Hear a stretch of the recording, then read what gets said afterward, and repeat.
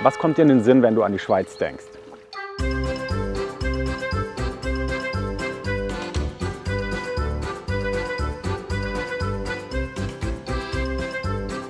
Woran ich aber nicht denke, ist das hier.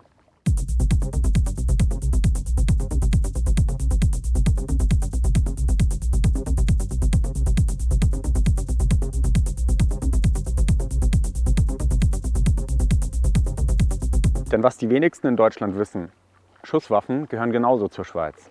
Zwei bis drei Millionen davon gibt es in Privatbesitz. Und das bei nur 8,5 Millionen Einwohnern. Amokläufe und Schießereien gibt es aber fast nie. Ist die Schweiz also ein Waffenparadies? Wir wollen es herausfinden. Die Recherche führt uns zunächst in die Schweizer Provinz. Wir treffen Alois, der uns seine Waffen zeigt und offen darüber spricht. Die Waffen, die ich habe, die eine ist meine persönliche Armeewaffe gewesen und die zweite Waffe, Um ihn zu schützen, machen wir ihn unkenntlich. Denn nicht alles, was er uns zeigt, ist legal. das ist dann die, ist eine, eine gemietete Waffe, oder? Das Problem ist eben, man müsste sie in einem eigenen Waffenschrank haben.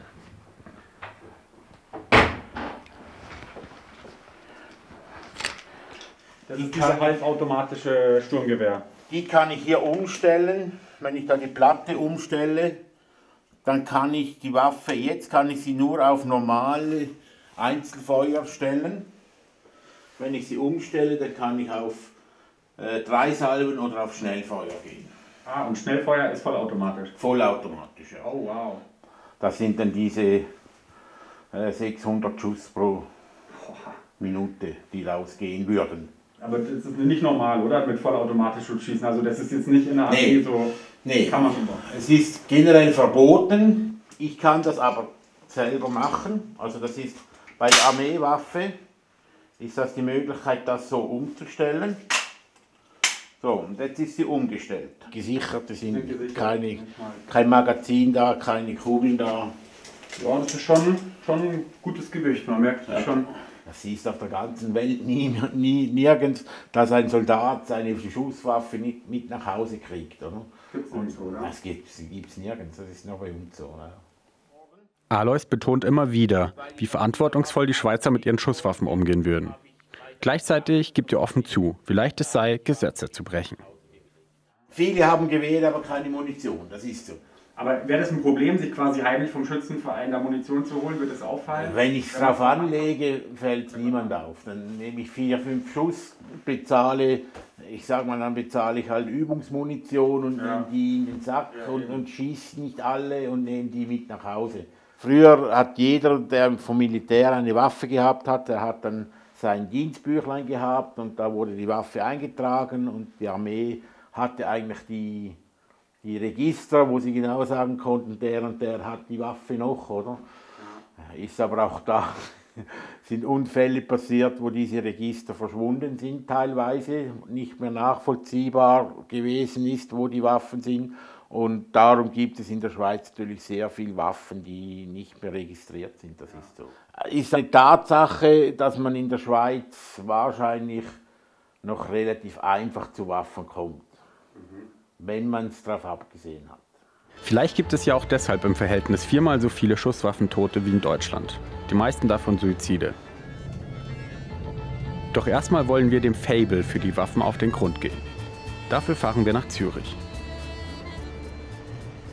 Um zu verstehen, warum es in der Schweiz so viele Schusswaffen gibt, muss man die Rolle der Armee beachten.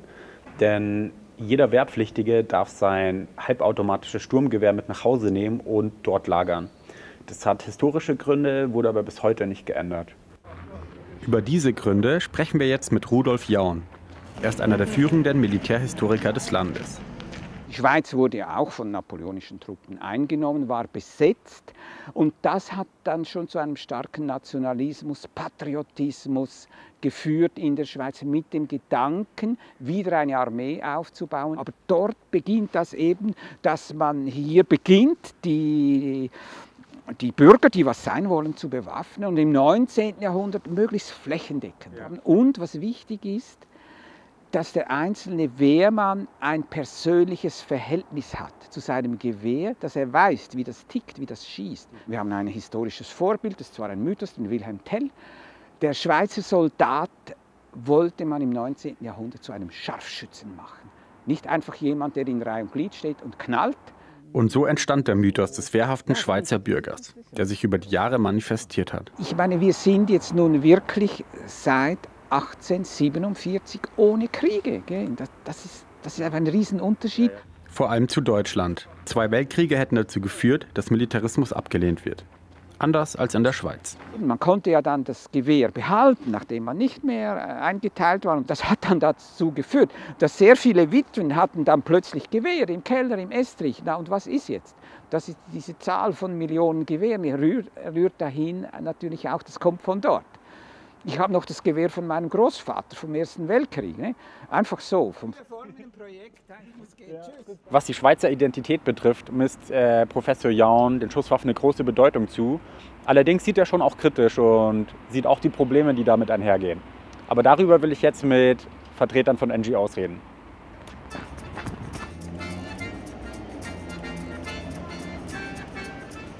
Ich bin jetzt mit Levin verabredet von der XOA, von der Gruppe Schweiz ohne Armee. Mich interessiert vor allem, warum er für eine Abschaffung der Armee ist, warum er Schusswaffen für so gefährlich hält und ja, das gucken wir uns jetzt mal an. Die XOR ist eine der größten NGOs des Landes und setzt sich seit 1982 für schärfere Waffengesetze ein. Ich denke, jetzt strengere Waffengesetze in der Schweiz hätten vor allem eine Folge, und zwar, dass Suizide vielleicht nicht mehr ganz so häufig stattfinden wie heutzutage, weil die Schweiz hat eine der höchsten Suizidraten weltweit. Es geht bei dem Thema Waffengewalt nicht nur um ausgeübte Taten, sondern es geht, geht auch um, um, um die Gender-Perspektive, das Gefühl einer möglichen Bedrohung und dass in einem Streit das passieren könnte als allerletzte Tat, wenn natürlich eben im Wandschrank eine, eine Schusswaffe steht. Es ist heutzutage immer noch so, dass äh, die Behörden nicht genau wissen, wie viele Schusswaffen es gibt. Es sind nicht alle Schusswaffen registriert.